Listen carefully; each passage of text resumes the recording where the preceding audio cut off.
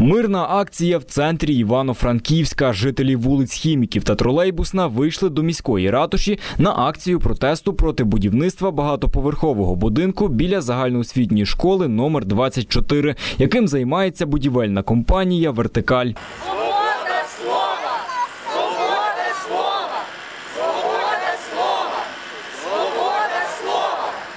Протестують вже не вперше, але забудовник продовжує роботи. Більше того, компанія подала судові позови на окремих жителів вулиць, які своїми постами у соцмережі Фейсбук нібито нашкодили іміджу компанії. Ця історія почалася ще з кінця середини квітня, десь місяця, коли ми знали, що біля нашого будинку починається забудова чотирьохпід'їзного великого такого висотного будинку, можливо, навіть закритого типу намистинка.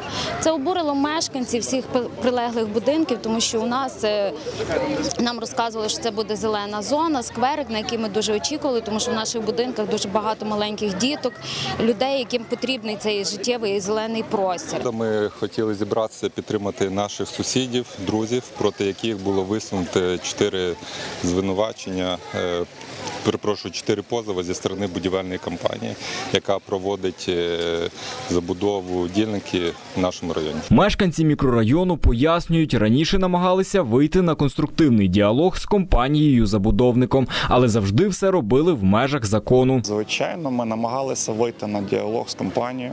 Ми це громада нашого мікрорайону. Е, Відповідно, ви знаєте, створили робочу групу. Ми працюємо в межах е, цієї робочої групи.